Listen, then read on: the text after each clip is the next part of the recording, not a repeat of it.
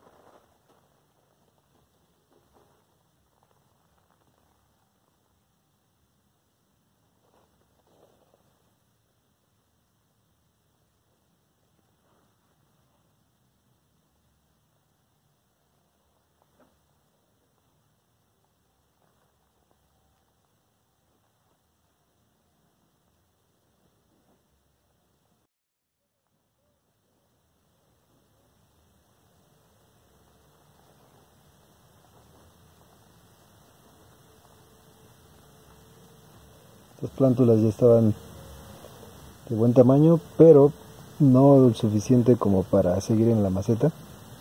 Las estoy colocando aquí muy juntas, a diferencia de otras plántulas más pequeñas que les dimos un poco más de espacio este, entre filas, incluso entre ellas mismas.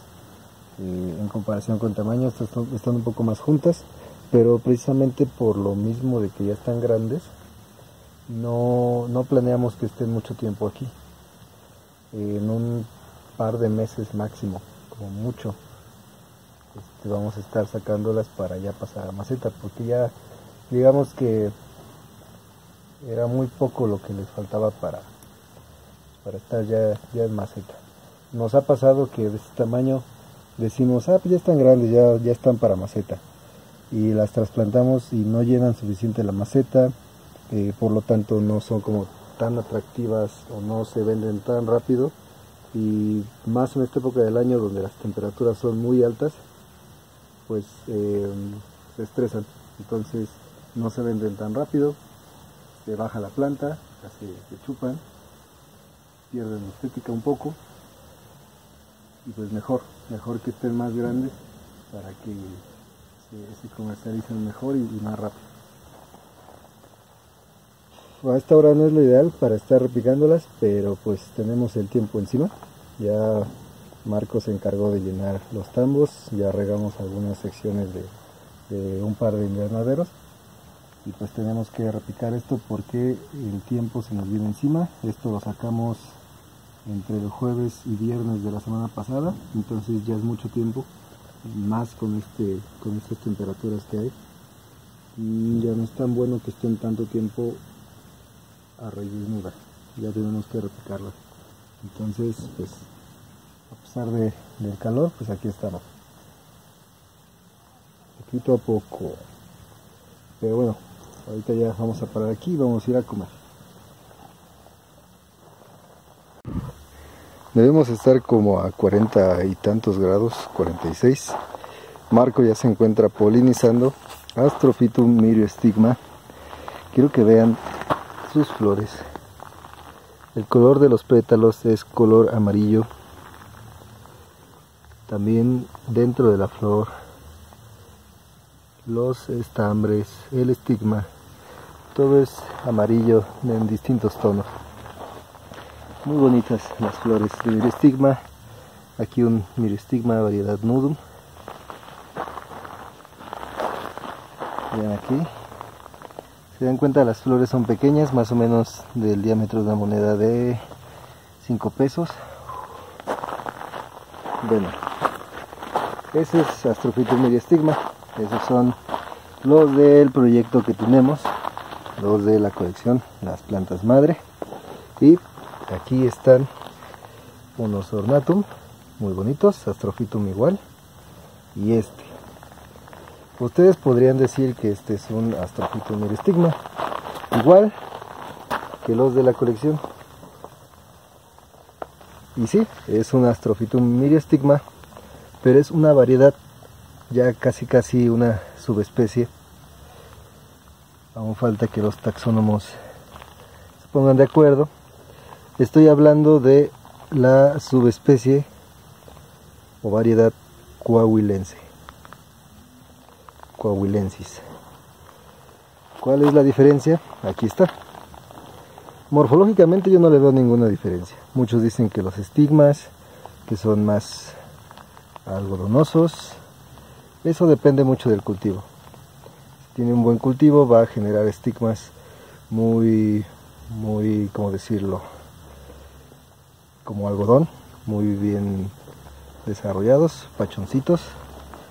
Pero en realidad pues yo no veo diferencia entre el coahuilense y el miriostigma común. La diferencia está al momento de florecer. Vean, los pétalos, el estigma los estambres es igual. La diferencia es la base de la flor. Lo que conocemos como garganta, se le llama garganta de la flor, es la base de los pétalos. Esta es de color rojizo se nota muy bien aquí en estas flores. Además las flores son más grandes vean.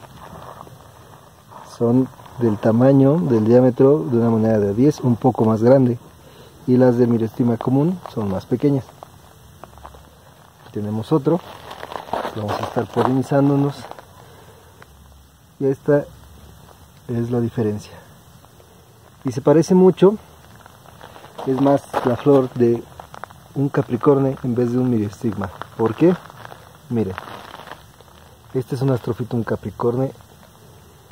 Aquí podemos notar muy bien, ya es mucho más, más notorio, el color de la garganta.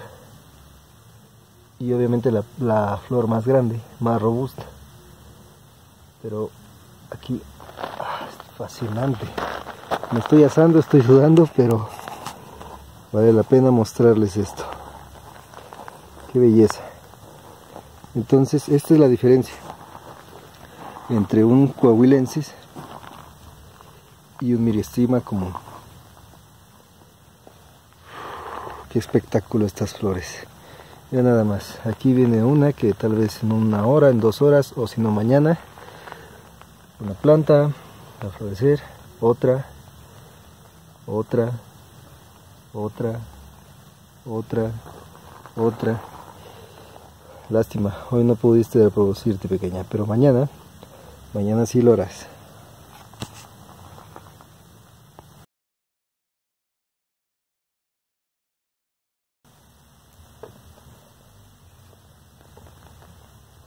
Es un espectáculo, no cabe duda.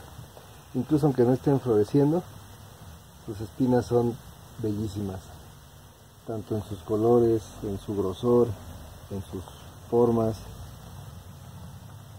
esa manera en que se curvean. Es impresionante esta especie. Es, sin temor a equivocarme, sin duda alguna, mi Astrophytum favorito, mi especie de este género favorito, Astrophytum capricornio. Y sin duda la floración es, es increíble llegó la hora de polinizar todas estas nueve, nueve plantas. Nueve plantas al unísono floreciendo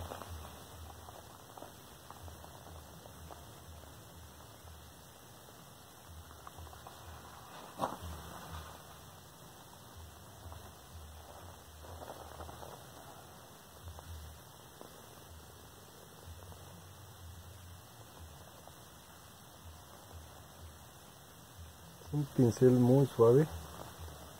Cuando toco el estigma siento muy muy suave el, contacto entre, entre el pincel y, y la parte femenina de, de la flor. Incluso cuando tomo el polen es muy importante hacerlo con mucho cuidado porque no queremos dañar las estructuras, principalmente la parte femenina, que es digamos la que si se rompe o se, se daña, pues ya no hay vuelta atrás.